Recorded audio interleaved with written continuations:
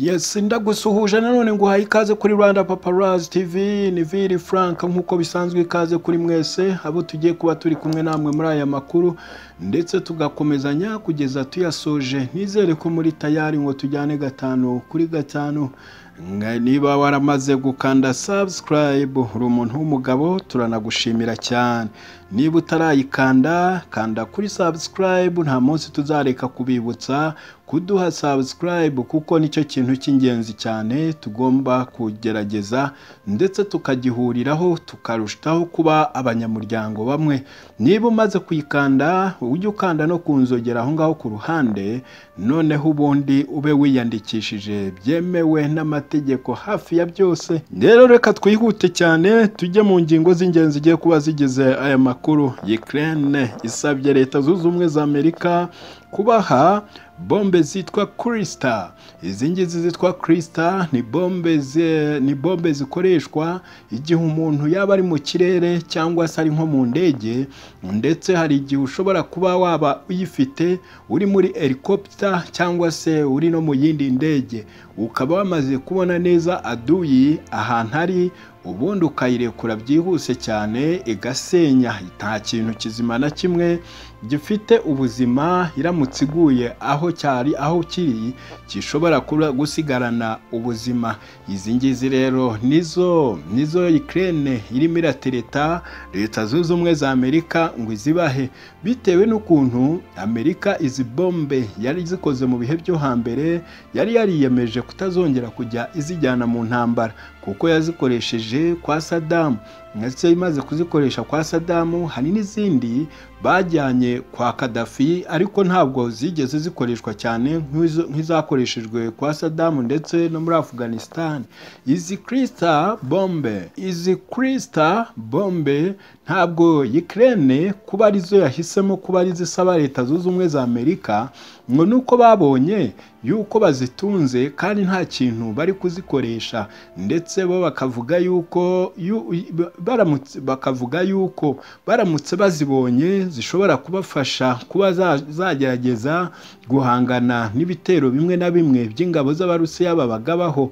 Ndetse bo mu busabe bwabo basobanurira leta zunze ubumwe za Amerika yuko izi bombe bazikurikiranaga cyane bazikurikiranaga cyane bazikoresha ndetse mu gihe bazikoresherezaga zabakoreraga akazi gakomeye cyane. Ndetse bakaba bavuga yuko nabo igihe bashobora kuba bazibonye atari ukuvuga ngo yenda bashobora no kugenda baziteratera aho babonye ngo ahubwo barashaka kugira ngo bicare batunze kuri bombe za buno bwoko bazifite muri Ukraine. Ngayo nguko murimo murabyumva ngira ngo reka nze mu kanya. Nanone nongere nyabaramburire fureshi mwumve na leta zunze ubumwe za amerika icyo yasubize Ukraine ndetse na Ukraine. Ibyo yabijeje. Ntujye kure ugume aho ngaho dukomeze twijyanire muri aya makuru. Niba uherereye mu busuwisi turabizi aho hariyo providence. Uri mu busuwisi tuguhaye ikaze. Niba uherereye mu budage cyangwa se ukaba uri no mu bwongereza mu bufaransa ndetse no mu bubirigi mwese mwese tubahaye ikaze muze twibanire muri aya makuru atariho ivumbi noneho ubundi turusheho kugenda tumenya neza uko isi ibihagaze. Reka twihute dusubire gatoya muri Ukraine. Tubanze turebe impamvu ki bari gushaka iyi kirisita bombo. Iyi bombe barashaka iy'iki mu by'ukuri.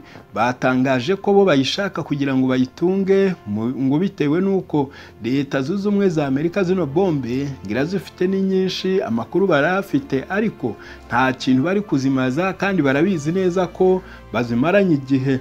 Ukraine babicishije muri minisiteri y'ingabo yasabaga leta zunze umwe za amerika yuko izi bombe bazibaha bakashobora kujya bazifashisha mu gihe baba bari muri muri kajugujugu cyangwa se izindi ndege baba bagiye gukoresha bari kwataka mu birindiro by'ingabo z'abarusiya.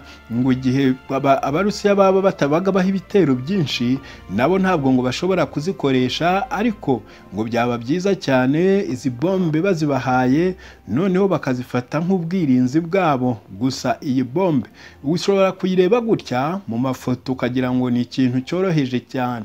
Nk'uko uyireba uko nguko imeze imbere imbere hayo hagiye harimo utuntu tw'utubombe tu- mbega tu- tugiye tu- dusa n'aho tuzungurutse yo ukuntu yubatse uyirebye. Wagira ngo ni ikintu kimwe gihita giturika. Ariko yo kiriya ni nk'ikintu cy'ikigofero kiba kiyiriho ariko ibintu byitwa bombe biyirimo imbere ni utuntu dukabakaba tugera nko ku ijana tuba mbega tumeze nk'amagi y'inkoko ariko tuba turimo muri iki- kintu ureba cyitwa ngo ni bombe.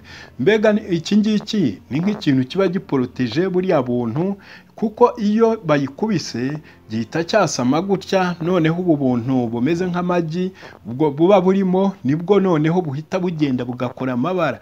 Byanze bikunze ubu buntu aho bugwa aho ariho hose bwaba buguye ku bantu cyangwa bukagwa aho ahegeranye n'ahantu hari ikinyabuzima ibintu ibintu iyi bombe ihakorera ni ibintu bitangaje cyane. Iki cy'inyuma mureba kinini cyubakiyeho nta kintu kiba kimaze.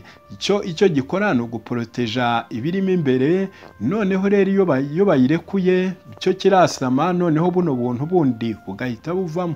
Ubu rero ni bwo buri dangerous cyane ku buryo aho buguye umuntu aramutse ahatambutse hadaciye umwanya munini cyane. Nawe ahita agira ikibazo ndetse hafi no gupfa. Izi bombe rero bamaze igihe ba- ba- bazikurikirana cyane ndetse babizi neza ko leta zunze ubumwe za amerika yazikubise mu bubiko itakiri kuzikoresha. Ndetse ubwo bazisabaga mu by'ukuri minisitiri of defense wa leta zunze ubumwe za amerika nawe yabwiye Ukraine ko bazibitse bari batakiri kuzikoresha ngo bitewe n'uko zari zari dangerous cyane ubwo bazikoreshaga muri afghanistan ndetse no muri no muri iraq ngo zishe abantu benshi ku buryo ba- ba- bakoze inama nyuma noneho bahitamo gukora ibishoboka byose ngo babe bazihoreye gukomeza bazikoresha mu bihe by'intambara. Izi rero ubwo Ukraine yazisabaga bababwiye ko bazabitekerezaho mbere y'uko bashobora guhita babasubiza ni ukubanza kubitekerezaho bakabiganiraho kuko leta zunze ubumwe za amerika niko imera. Ntabwo bifatira umwanzuro gutya ngo bahite bavuga bati twemeye iki? Reka duhite tujya kugikora. Bavuze ko bagomba kuzabiganiraho mu gihe bazaba bacuje inama ya gisirikare. Noneho bizeza bizeza leta ya Ukraine ko igihe bazaba babiganiriyeho bagafata umwanzuro w'uko nta n'ikintu ziri gukora ziri aho ngaho gusa bazahita bafata gahunda yo kuzoherereza Ukraine. Ukraine yivuga ko mu kuvuga kwayo ariko bigaragara ko baba bari kubeshya ngo barashaka iz'ubwirinzi ngo ntabwo ari izo gukubita abarusiya. Ariko ibi ngibi ni nko kubeshya. Ntabwo dushobora kwemera yuko bashobora kuba baryamana izi bombe. Umurusiya akaza akababombarita bo bagasigara bamurebera. Icyo ni icya semuhanuka nabo byanze bikunze bahita bashakisha ukuntu bahita bamukubita byihuse cyane. Ngayo nguko ngira ngo murabyumva Ukraine aho igeze irimo irashaka bombe irimo irashaka bombe z'ubwirinzi kandi rwose ziri dangerous cyane nta nubwo ari bombe. Genda wavuga ngo iramutse iguye ahantu ngo nta kintu yatwara abantu. Iyi ngiyi ngo aho iguye byanze bikunze ngo ihasiga amabara.